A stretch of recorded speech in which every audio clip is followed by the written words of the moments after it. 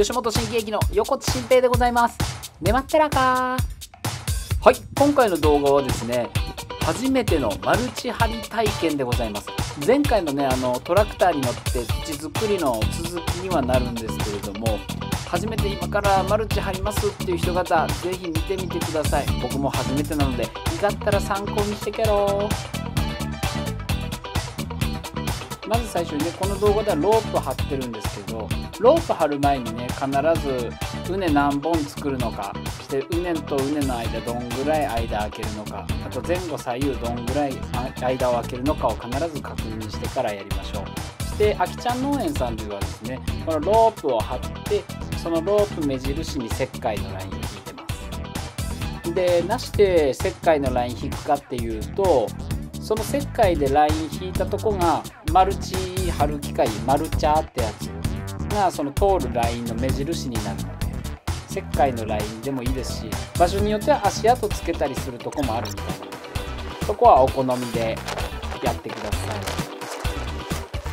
い、まあ、ライン引きあるとこはねこうやって子犬の散歩みたいな感じでねコロコロ引くとあのすごく体の負担が少ないので楽ですね。では先にマルチャーのご紹介。あきちゃん農園さんで使わせていただいているマルチャーがね、えー、伊関さんの KK75 っていうモデルですねこれホームページご覧いただいても分かるんですけどすごい使いやすい。まさにこの説明書通り。あー仕事欲しいなでは早速マルチを貼っていきましょう。とは言ってってみたもののもうほぼ完全に機械がね全部やってくれるからなんか自分で貼ってる実感がないぐらいなんだよね。レバーの数も少なくて分かりやすいんだよ。ほら見てもう勝手に畝がもうできてるのよ。だから楽ちんだよね。したらこの畝がある程度見えてきたらビニールちょっとこうやって引っ張ってあげてクワ使ってねビニールの端っこ埋める場所を作ってあげてください。でこれ穴掘ったらビニールちゃんと端っこをね靴でちゃんと踏んで土で埋めてあげてマルチがピンと張らさるようにしてください。バフバフずくなるとねマルチが飛んでしまう可能性があるのでしっかりピンと張るっていうのを意識してみるといいんじゃないのかなと思います。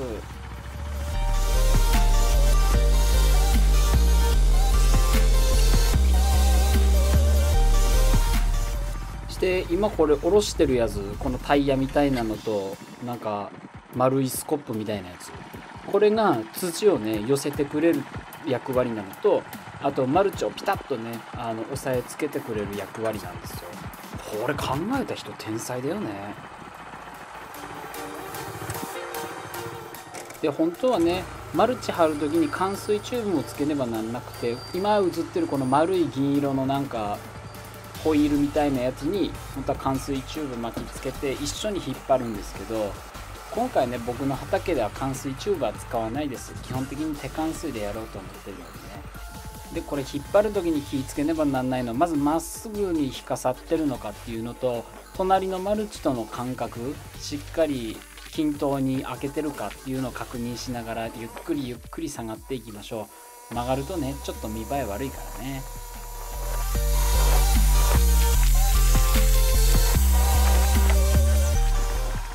そしてね隣のマルチと、えー、終わりの端っこ揃えたら先下ろしたやつがちょっと上げてください。これねぶつかるとめちゃくちゃ痛いらしいから気をつけてくださいね。でマルチある程度伸ばしてカッターで切ってこのマルチャーはどっか端っこに寄せときましょう。このマルチャーの方向転換なんですけどこれ僕ね重たくてコツわかんないんですよね。で僕あの力入れるとしゃくれてしまうんですよね。だから今日この日一日ねあのずっとしゃくれてだったからあの仕事終わったっけしゃくれすぎて顎がおでこについてましたね。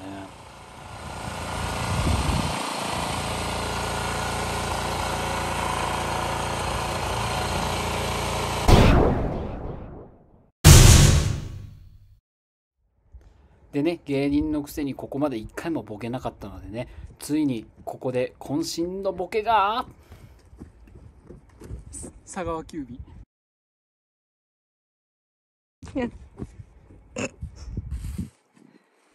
なんかね撮影してくれた方がね笑いこらえてらったみたいなのでちょっと笑い足しときますね。佐川急便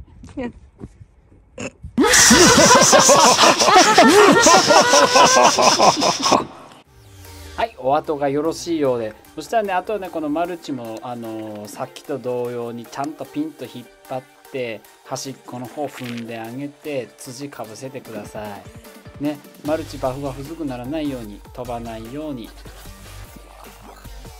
で全部の畝ねマルチ張り終わったらこうやって端っこの土足で寄せてねちょっと見えにくいんですけどこうやって端っこ踏み踏みしてマルチしっかりピンと張ってあげてで土も固めてあげるっていうのが必要になってきます。これサボるとねマルチビローンって飛んでってしまうみたいだから気をつけましょう。今